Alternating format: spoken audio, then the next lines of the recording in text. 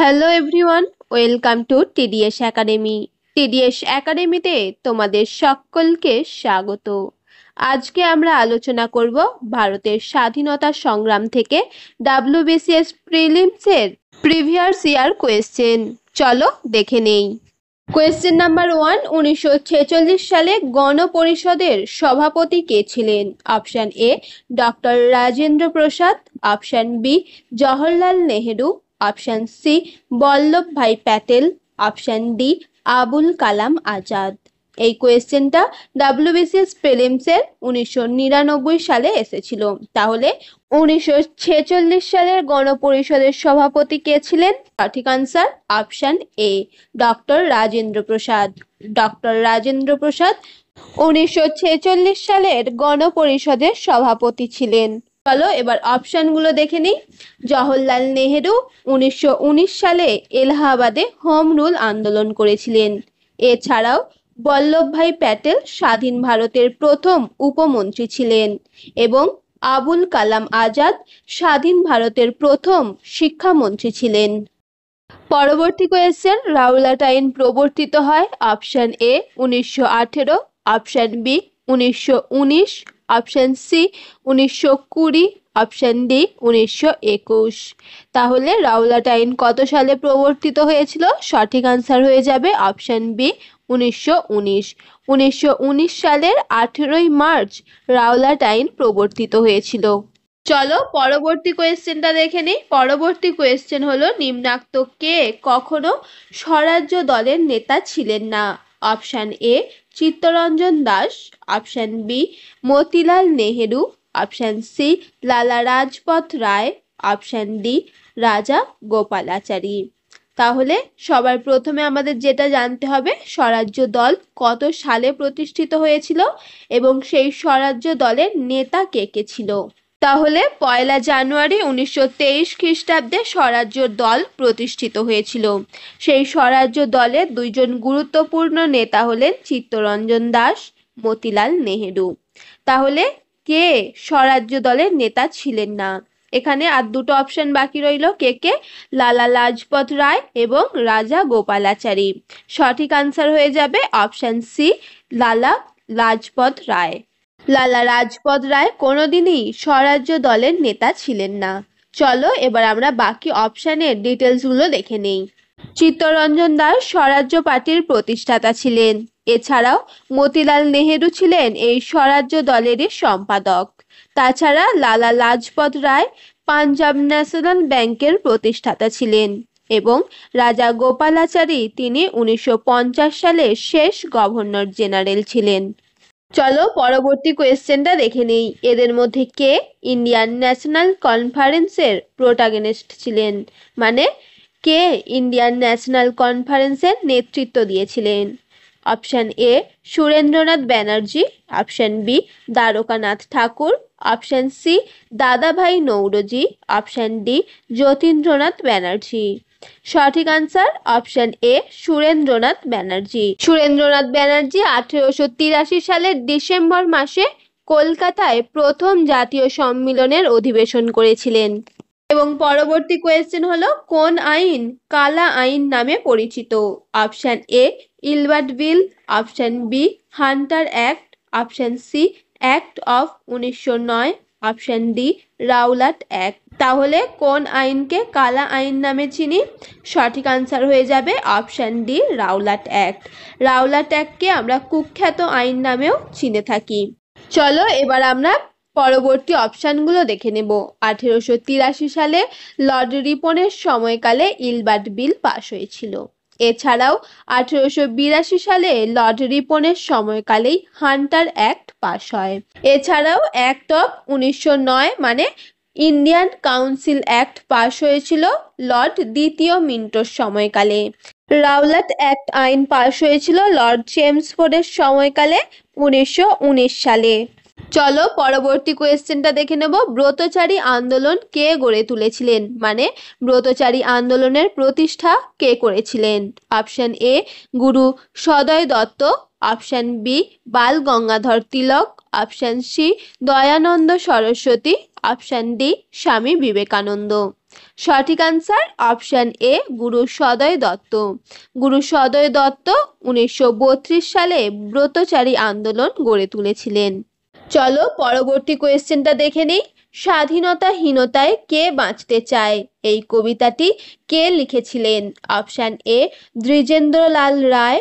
Option B, Hemchandra Bandyopadhyay. Option C Nabin Chandra Sen. Option D, Rangalal Bandyopadhyay. সঠিক answer option D Rangalal Bandyopadhyay. Rangalal Bandyopadhyay স্বাধীনতাহীনতায় কে বাঁচতে চায় এই কবিতাটি লিখেছিলেন। পরবর্তী কোয়েশ্চেন আগামী পঞ্চাশ বছর ভারতীয়দের একমাত্র উপাস্য দেবতা হোক ভারত মাতা। কে বলেছিলেন? Option A Aurobindo Ghosh. Option B Bal Gangadhar Tilak. Option C Ashwini Kumar Dutta.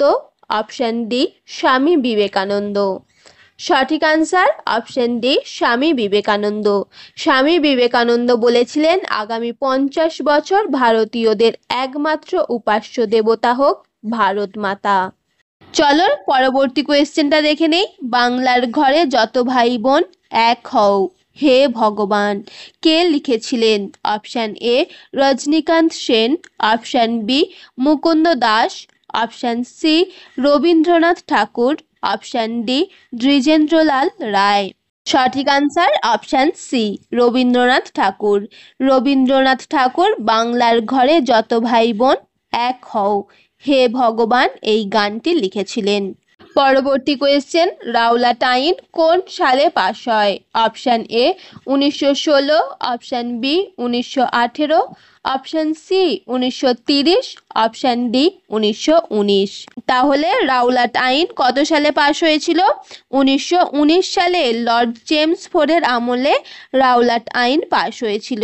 চলো পরবর্তী কোয়েশ্চেনটা দেখে নিই। কাকে বলা হতো grand old man of India? Option A Dadabhai Naoroji. Option B Jamsetji Tata. Option C Surendranath Banerjee. Option D Rajagopalachari. তাহলে কাকে বলা হতো? ভারতের প্রবৃদ্ধ পুরুষ। সঠিক আনসার হবে option A Dadabhai Naoroji. Dadabhai নৌরজিকে grand old man of India বলা হতো। চলো অপশানগুলো দেখে নেই। জামশেদজি টাটা। জামশেদজি টাটাকে ভারতীয় শিল্পের জনক বলা হতো। তাহলে ভারতীয় শিল্পের জনককে জামশেদজি টাটা। এছাড়াও সুরেন্দ্রনাথ ব্যানার্জি আঠেরোশো তিরাশি সালে ন্যাশনাল কনফারেন্স প্রতিষ্ঠা করেছিলেন এবং রাজা গোপালাচারী শিয়ার ফর্মুলা প্রতিষ্ঠা করেছিলেন। চলো পরবর্তী কোয়েশ্চেনটা দেখে নেব। পরবর্তী কোয়েশ্চেন, ভারতের লৌহ মানব কাকে বলা হতো? Option A, Surendranath Banerjee. Option B, Bipin Chandra Roy.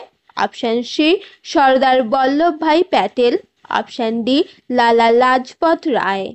তাহলে, কাকে ভারতের লৌহ মানব বলা হতো? সঠিক answer, option C, Sardar Vallabhbhai প্যাটেলকে ভারতের লৌহ মানব বলা হয়েছিল। চলো পরবর্তী ডিটেলসগুলো দেখে নেব। সুরেন্দ্রনাথ ব্যানার্জি। সুরেন্দ্রনাথ ব্যানার্জিকে রাষ্ট্রগুরু সম্মানে ভূষিত করা হয়েছিল। এছাড়াও বিপিন চন্দ্র রায়, তিনি স্বরাজ্য এবং বন্দে মাতারাম নামে দুটি প্রধান পত্রিকার সম্পাদক করেছিলেন। এছাড়াও লালা লাজপত রায় পাঞ্জাব কেশরী নামে পরিচিত ছিলেন। তাহলে পাঞ্জাব কেশরী কাকে বলা হতো? লালা লাজপত রায়কে। পরবর্তী কোয়েশ্চেন সাইমন কমিশন নিয়োগ করা হয়েছিল অপশান এ ভারতের সাংবিধানিক সংস্কারের জন্য অপশান বি শাসন সংস্কারের জন্য অপশান সি শিক্ষা সংস্কারের জন্য অপশান ডি জেল কোড সংস্কারের জন্য। তাহলে সাইমন কমিশন কিসের জন্য নিয়োগ করা হয়েছিল? সবার প্রথমে আমাদের জানতে হবে সাইমন কমিশন কত সালে পাশ হয়েছিল। সাইমন কমিশন উনিশশো সাতাশ সালে ভারতে এসেছিল। সেই সময় ভারতের ভাইস রয়েছিলেন লর্ড আরউইন। এবং সেই সাইমন কমিশনকে হোয়াইট কমিশনও বলা হয়েছিল। তাহলে সাইমন কমিশন কিসের জন্য নিয়োগ করা হয়েছিল? সঠিক আনসার হবে অপশান এ ভারতের সাংবিধানিক সংস্কারের জন্য এই সাইমন কমিশন নিয়োগ করা হয়েছিল। চলো পরবর্তী কোয়েশ্চেনটা দেখে নেব। স্বরাজ্য পার্টির প্রতিষ্ঠাতা ও সভাপতি কে ছিলেন? Option A Motilal Nehru option B Rajendra Prasad option C C R Das option D Rajagopalachari তোমাদের একটা কথা বলি, এর আগের ভিডিওতে আমি জাতীয় কংগ্রেস নিয়ে একটা ভিডিও করেছিলাম। তোমরা যারা সেই ভিডিওটা দেখনি, আমি ডেসক্রিপশনে তার লিংক দিয়ে দেব। তোমরা অবশ্যই সেই ভিডিওটা দেখবে। তাহলে কোয়েশ্চেনটা কি ছিল? স্বরাজ্য পার্টির প্রতিষ্ঠাতা ও সভাপতি কে ছিলেন? তাহলে সঠিক আনসার হবে option C C R Das মানে চিত্তরঞ্জন দাস ছিলেন স্বরাজ্য পার্টির প্রতিষ্ঠাতা এবং সভাপতি। এছাড়াও এখানে যদি অপশানে চিত্তরঞ্জন দাস না থাকতো, তাহলে কিন্তু সঠিক আনসার হতো অপশান এ মতিলাল নেহেরু। মতিলাল নেহেরু এবং চিত্তরঞ্জন দাস দুজনে মিলেই এই স্বরাজ্য দলটি গঠন করেছিলেন। এছাড়াও মতিলাল নেহেরু হলেন স্বরাজ্য পার্টির প্রতিষ্ঠাতা এবং সেক্রেটারি তাছাড়া রাজেন্দ্র প্রসাদ হলেন স্বাধীন ভারতবর্ষের প্রথম রাষ্ট্রপতি। তাহলে স্বাধীন ভারতবর্ষের প্রথম রাষ্ট্রপতি হয়েছিলেন ডক্টর রাজেন্দ্র প্রসাদ। এছাড়াও রাজা গোপালাচারী ছিলেন সেই সময় তামিলনাড়ু রাজ্যের মুখ্যমন্ত্রী। চলো পরবর্তী কোয়েশ্চেনটা দেখে নেই। ভারতের অর্ধনগ্ন ফকির ব্রিটিশ প্রধানমন্ত্রী কার সম্বন্ধে বলেছিলেন? Option A Tej Bahadur Sapru. Option B, Mohammad Ali. Option C, Ambedkar. Option D, Gandhiji. তাহলে ব্রিটিশ প্রধানমন্ত্রী কার সম্বন্ধে এইরকম একটা কথা বলেছিলেন যে, ভারতের অর্ধনগ্ন ফকির। তাহলে সঠিক আনসার হবে অপশান ডি গান্ধীজি। ব্রিটিশ প্রধানমন্ত্রী গান্ধীজিকে বলেছিলেন ভারতের অর্ধনগ্ন ফকির। চলো অপশানের ডিটেলসগুলো দেখে নেব। বি আর আম্বেদকরকে আমরা বাবা সাহেব নামে চিনে থাকি। এছাড়া গান্ধীজিকে যেই ব্রিটিশ প্রধানমন্ত্রী বলেছিলেন ভারতের অর্ধনগ্ন ফকির, তিনি হলেন উনস্টন চার্চিল। পরবর্তী কোয়েশ্চেন ভারতীয় বিপ্লবীদের জননী রূপে খ্যাত ছিলেন option A Bhagini Nivedita option B Annie Besant option C Madame Cama option D Matangini Hazra তাহলে কাকে আমরা বিপ্লবীদের জননী বলে থাকি? সঠিক আনসার হবে option C madam Cama madam কামাকে ভারতীয় বিপ্লবীদের জননী বলে চিনে থাকি। এবং পরবর্তী কোয়েশ্চেন হলো শের ই পাঞ্জাব কাকে বলা হতো? Option A Ranjit Singh option B, Amar Singh. Option C, Bhagat Singh.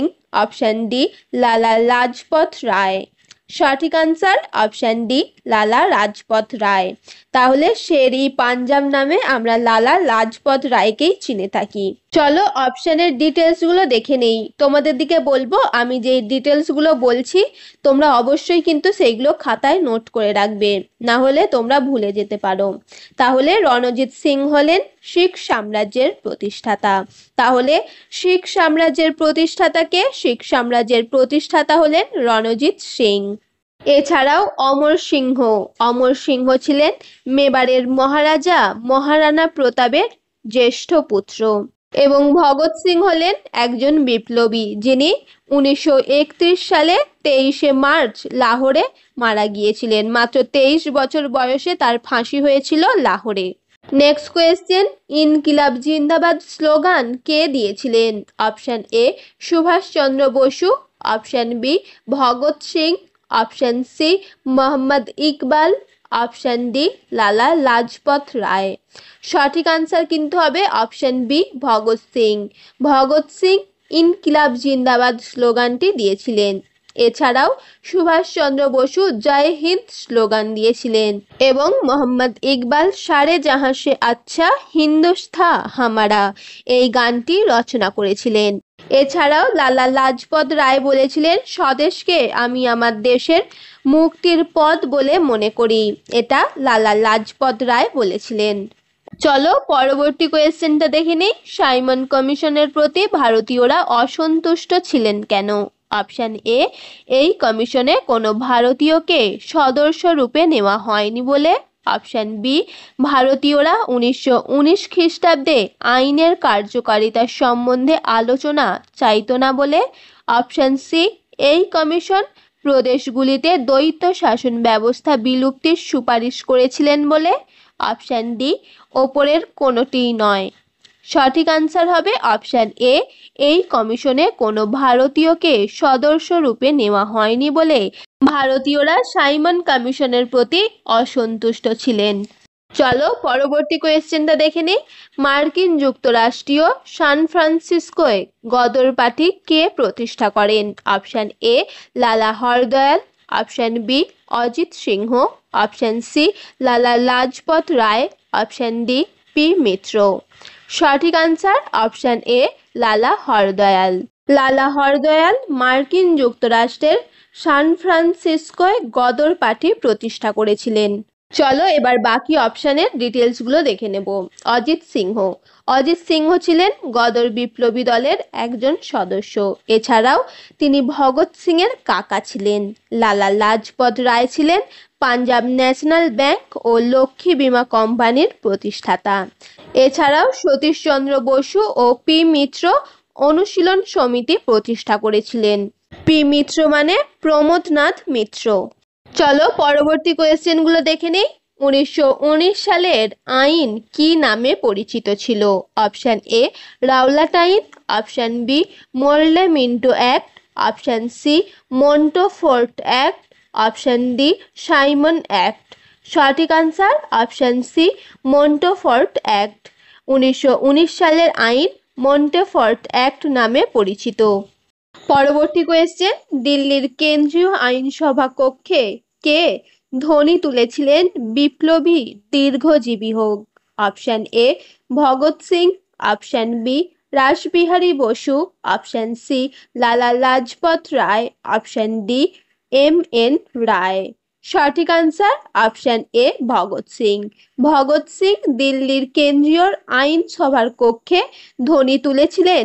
বিপ্লবী দীর্ঘজীবী হোক। চলো অপশানের ডিটেলসগুলো দেখে নেব। এখানে যে অপশানগুলো আছে, এর ডিটেলসগুলো আমি আগে বলে দিয়েছি, সেই জন্য আর বললাম না। রাসবিহারী বসু রাসবিহারী বসু আজাদ হিন্দ ফৌজের পরিচালনা ভার নেতাজির হাতে তুলে দিয়েছিলেন। চলো পরের কোয়েশ্চেনটা দেখে নিই। স্বরাজ আমার জন্মগত অধিকার। কে বলেছিলেন? Option A Bal Gangadhar Tilak. Option B Bipin Chandra Pal. Option C Lala Lajpat Rai. Option D Mahatma Gandhi. তাহলে স্বরাজ আমার জন্মগত অধিকার এটি বলেছিলেন। সঠিক answer option A Bal Gangadhar Tilak. Bal Gangadhar Tilak বলেছিলেন, স্বরাজ আমার জন্মগত অধিকার। পরবর্তী কোয়েশ্চেন খুদা ই খিদমতগারের নেতা কে ছিলেন? Option A M A Jinnah. Option B M K Azad. Option C Mohammad Ali. Option D Khan Abdul Ghaffar Khan. তাহলে খুদা ই খিদমতগার কে প্রতিষ্ঠা করেছিলেন? সঠিক আনসার হবে অপশান ডি খান আব্দুল গাফর খান। এই কোয়েশ্চেনটা ডাব্লিউবিসিএস প্রিলিমসের দু হাজার বারোর কোয়েশ্চেন আজকের শেষ কোয়েশ্চেন ভারতের স্বাধীনতা প্রাপ্তির সময় ব্রিটিশ প্রধানমন্ত্রী কে ছিলেন?